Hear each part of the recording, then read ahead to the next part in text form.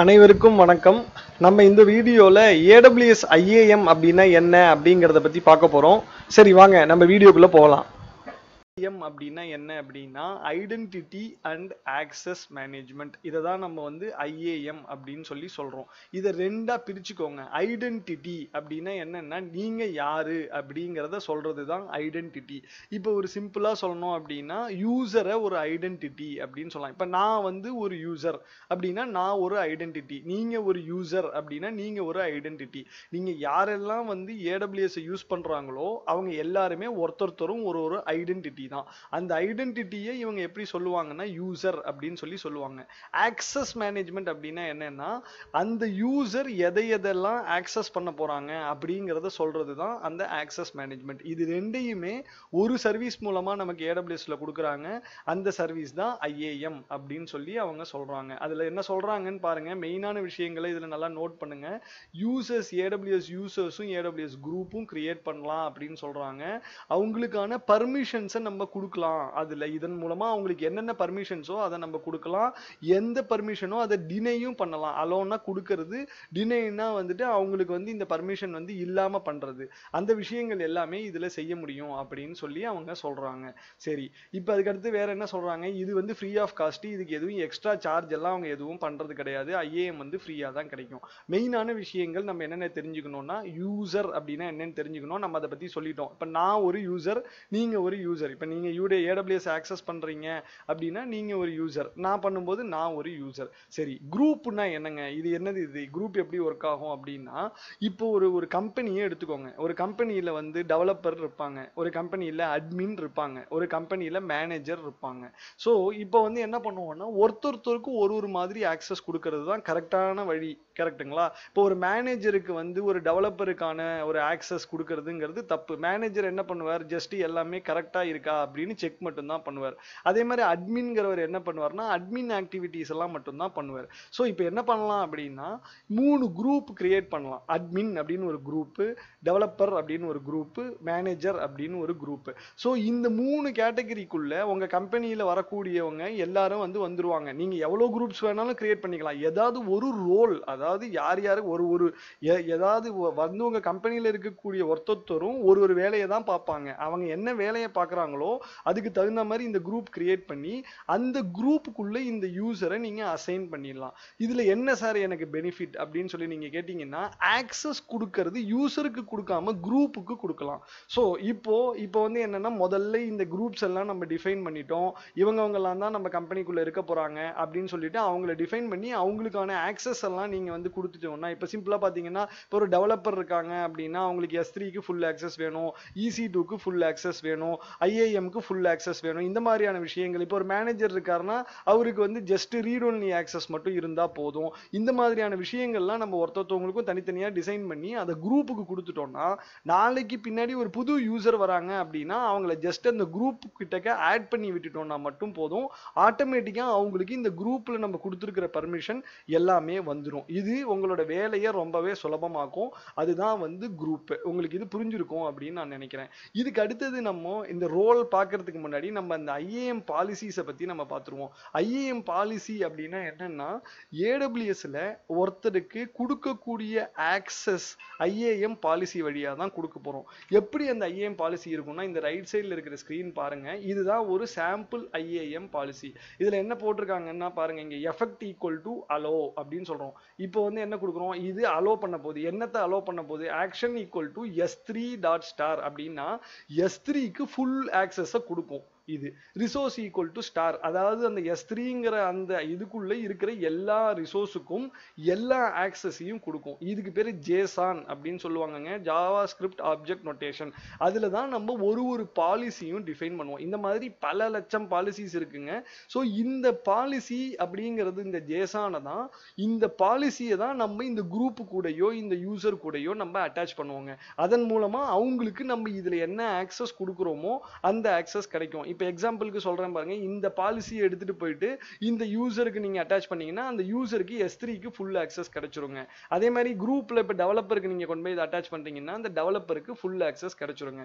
இதுதான் வந்து IIM policy இதில் மூணு வகையான பாலிசி அவங்க சொல்கிறாங்க ஒன்று மேனேஜர் பாலிசி மேனேஜர் பாலிசி அப்படின்னா என்னென்னா ஏடபிள்யூஎஸ்லேயே அவங்களுக்கு இதை பற்றிலாம் முழுசாக தெரிஞ்சதுனால அவங்க ஏடபிள்யூஎஸில் உள்ள இருக்கிற சர்வீசஸ்க்கு அவங்களே டிஃப்ரெண்ட் டிஃப்ரெண்ட்டாக நிறையா ரீட் ஒன்லி பாலிசிஸ் இப்போ இதில் பார்த்தீங்கன்னா இது S three full ஆக்சஸ்க்கான policy S three read only ஆக்சஸ்க்கு policy இருக்கும். இந்த மாதிரி எல்லா சர்வீசஸ்க்கும் அவங்க மேஜராக என்னென்னலாம் கவர் பண்ணலாமோ அது எல்லாத்தையுமே அவங்க கவர் பண்ணியிருக்காங்க.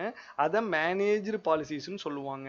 அடுத்தது கஸ்டமர் மேனேஜர் பாலிசி நம்மளாவும் நம்மளோட இஷ்டத்துக்கு நம்ம எழுதிக்கலாங்க. இந்த ஜேசான்ங்கிறதுனால இது ஒரு லாங்குவேஜாக வரதுனால நம்ம இஷ்டத்துக்கு நம்ம எப்படி வேணாலும் எழுதிக்கலாம். இப்போ நம்ம கம்பைன் பண்ணணும். ரெண்டு சர்வீஸை கம்பைன் பண்ணி ஒரு பாலிசி கிரியேட் பண்ணோம்னா நம்ம கம்பைன் பண்ணி பாலிசி கிரியேட் பண்ணிக்கலாம். அது எல்லாம் கஸ்டமர் மேனேஜருங்கிற அந்த கேட்டகரியில் வருங்க.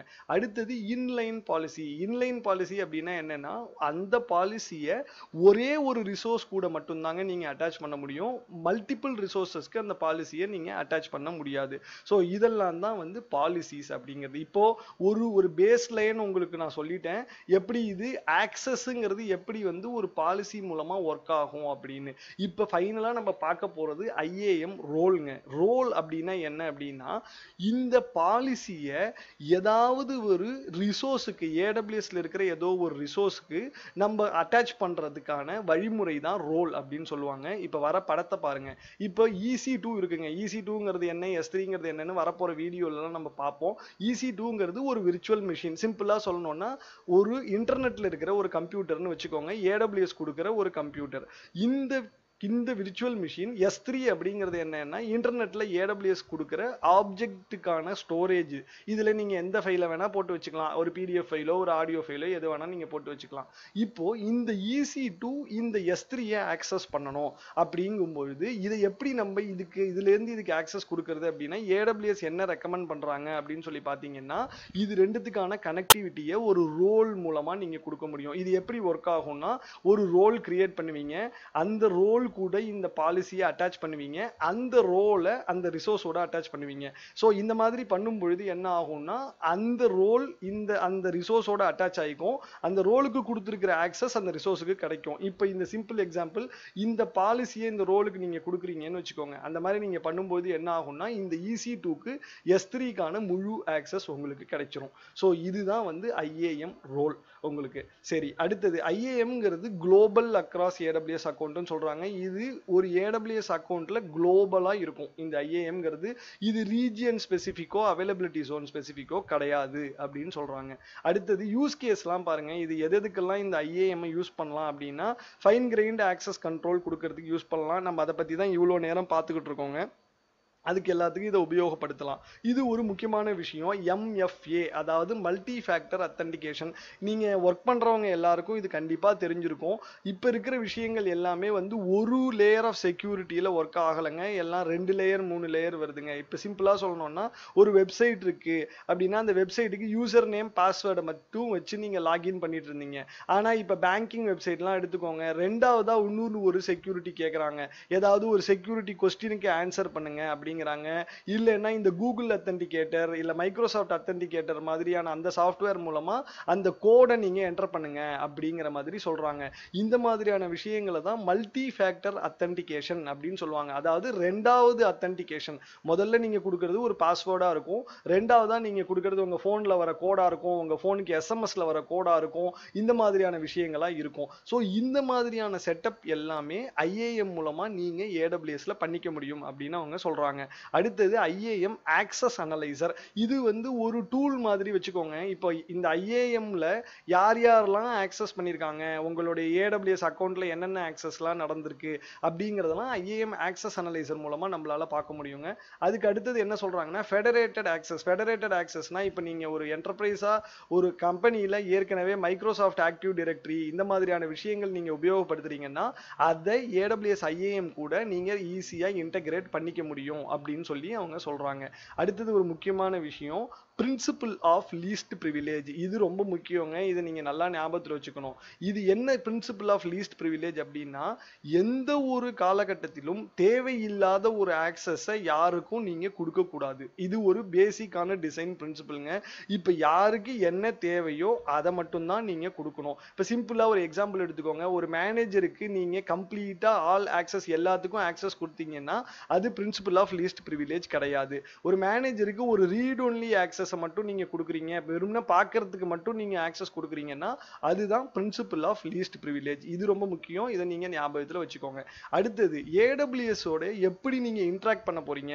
அப்படிங்கிறது பார்த்தீங்கன்னா ஏடபிள்யூஎஸில் அவங்க கொடுக்கறது ஒரு மேஜரான ஃப்ரண்ட் அண்ட் டூல் அதாவது ஒரு வெப் ப்ரௌசரில் உங்களுக்கு கொடுக்கறது ஏடபிள்யூஎஸ் மேனேஜ்மெண்ட் கன்சோல் அப்படின்னு சொல்லுவாங்க. அதுக்கு யூசர் நேம் அண்ட் பாஸ்வேர்டை யூஸ் பண்ணி லாகின் பண்ணுவீங்க. அதே மாதிரி இந்த மல்டி ஃபேக்டர் அத்தன்டிகேஷன் எல்லாமே நீங்கள் அந்த அதுக்கு செட் பண்ணிக்க முடியுங்க. சரி இது இல்லாமல் வேற வழி இருக்கா அப்படின்னா இருக்குங்க. அதுக்கு பேர் ப்ரோக்ராமேட்டிக் ஆக்சஸ் அப்படின்னு சொல்லுவாங்க. நீங்க இந்த ஐஏஎம்ல யூசர் கிரியேட் பண்ணும் பொழுது அது வந்து அந்த ஆப்ஷன் கேட்குங்க நீங்க மேனேஜ்மெண்ட் கன்சோல் ஆக்சஸ் மட்டும் கொடுக்க போறீங்களா? இல்ல ப்ரோக்ராமேட்டிக் ஆக்சஸும் நீங்க கொடுக்க போறீங்களாங்கிற ஆப்ஷன் கேட்கும் நீங்க செலக்ட் பண்ணீங்க அந்த ப்ரோக்ராமேட்டிக் ஆக்சஸை நீங்க செலக்ட் பண்ணீங்கன்னா access key ID secret access கீன்னு ரெண்டு கிரெடென்ஷியல்ஸை உங்களுக்கு எக்ஸ்ட்ராவாக கொடுக்குங்க. இது ரெண்டையும் நீங்கள் வந்து நம்மளுடைய command prompt general DOS command prompt இருக்கீங்களா? விண்டோஸ் கமாண்ட் ப்ராம்ப்ட் அந்த மாதிரி மாதிரியான கமாண்ட் ப்ராம்ப்ட்ல நீங்க ஏடபிள்யூஎஸ் கான்ஃபிகருங்கிற கமாண்ட்ல போட்டுட்டு இந்த இந்த ரெண்டு கீயும் அது கேட்குங்க இது ரெண்டையும் நீங்க இதுல கொடுத்தீங்க அப்படின்னா நீங்க உங்களோட ஏடபிள்யூஎஸ்க்கு ஏடபிள்யூஎஸ் அக்கௌண்ட்டை கமாண்ட் லைன் மூலமா நீங்க ஆக்சஸ் பண்ண முடியுங்க. இது ரொம்ப ஜாக்கிரதையா இருக்கணுங்க. இந்த access key ID secret access key எல்லாம் நீங்க கிட்ஹப்ல அந்த மாதிரியான விஷயங்களை போடக்கூடாது. போட்டிங்கன்னா யாராவது அதை அவங்க எடுத்துட்டாங்க அப்படின்னா அவங்க உங்களோட ஏடபிள்யூஎஸ் அக்கௌண்ட்டை அவங்க யூஸ் பண்ணிப்பாங்க. உங்களுக்கு தேவையில்லாத பல பிரச்சனைகள் வந்து சேருங்க. அதனால காரணம் கொண்டும் இந்த access key ID secret access key எல்லாம் எங்கேயுமே கொடுக்க எங்கேயுமே போடாதீங்க எங்கேயும் வைக்காதீங்க. இது உங்களோட யூசர் நேம் பாஸ்வேர்டை இன்னொருத்தருக்கு கொடுக்கறதுக்கு ஈக்குவலண்ட் ஆக்சுவலா சரி. நம்ம இந்த வீடியோவோட நிறைவு பகுதிக்கு வந்துட்டோங்க. நீங்க இந்த பா வீடியோவை பார்த்ததுக்கு ரொம்ப ரொம்ப நன்றி. உங்களுக்கு நம்ம சேனல்ல வரக்கூடிய கண்டென்ட்ஸ்லாம் பிடிச்சிருந்தது அப்படின்னா நம்மளோட சேனலுக்கு சப்ஸ்கிரைப் பண்ணுங்க. அடுத்த வீடியோ உங்களுக்கு கிடைக்கிறதுக்கு அது ரொம்ப யூஸ்ஃபுல்லா இருக்கும்.